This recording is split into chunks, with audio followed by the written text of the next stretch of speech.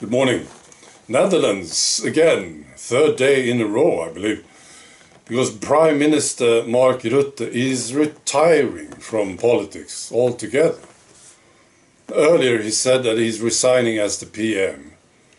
A lot of people said, oh, he'll be back. Now he's, he's leaving. He's an, he announced this yesterday.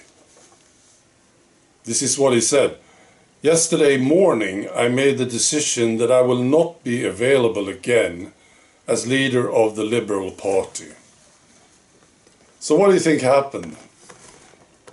Well, media is shocked. you know, they, they were shocked when Nicola Sturgeon left. Shocked. And same thing with uh, Jacinda Ardern. They were shocked. And now they are shocked again. So what do you think happened? Well, I strongly believe that this was personal for Mark Rutte because I can imagine what it's like to be Mark Rutte. No. Nothing wrong with the name. It's just that he betrayed the country. You know, I believe that these politicians, when they approach the top of politics, they get it. If I want a good career, I have to betray my own countrymen.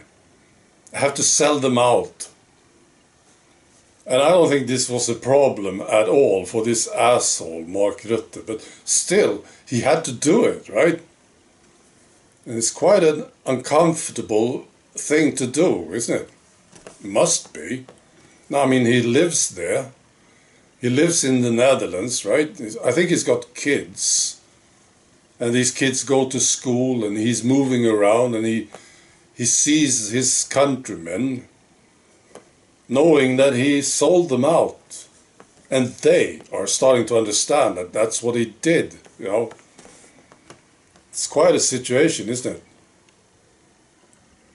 So of course uh, his bosses i'm sure this got something to do with it too no, it's the top globalist assholes. They thought they were looking at ne Netherlands and they thought, no, we have to get rid of this guy now.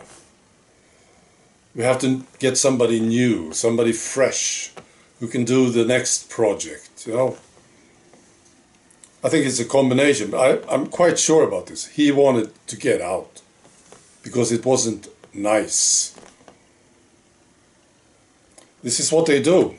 You know there are exceptions to this, but I can think we can expect anyone who get to the top in politics today, there's a big chance that he will sell you out.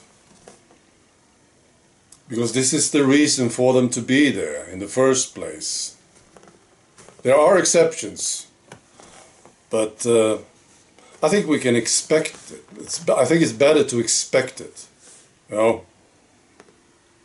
This is what they have to do in order to get this career. Now they have to get him out, I think.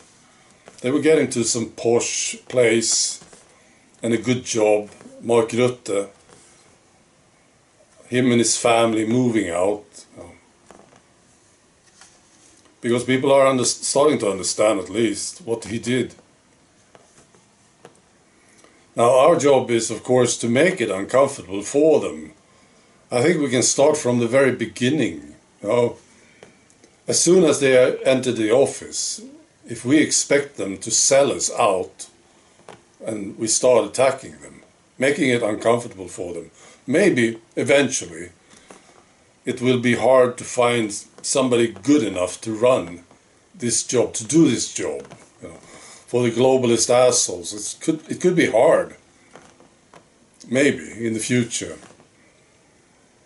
Suppose they will have to go to the prisons to find them eventually. Somebody who's tough enough and criminal enough to do the job. I mean, look at Hillary Clinton, for instance. I think she was the worst.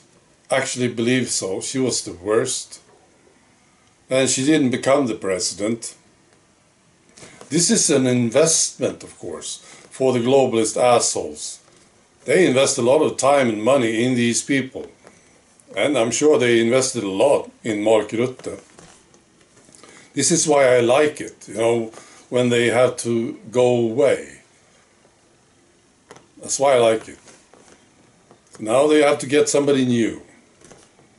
Now our job is to attack them, of course. Those who are truly traitors. I think we can start from the very beginning. Now, another job that we have is to get to the top guys, of course. I think we're doing a fine job with this. They are making this possible, all of it. They offer these careers to these guys. They tell them what to do and what to say. You know.